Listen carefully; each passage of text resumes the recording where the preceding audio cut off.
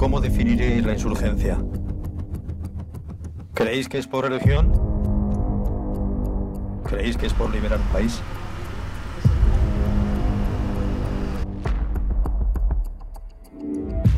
La definición es cualquier grupo o individuo que utiliza la violencia para conseguir un objetivo político.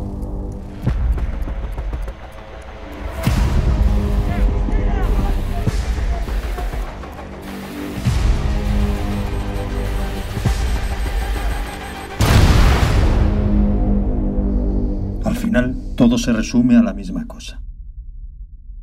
El negocio de la droga. ¿Queréis que solucione esto? Pues tendré que ensuciarme y agitar las ramas del árbol un poco.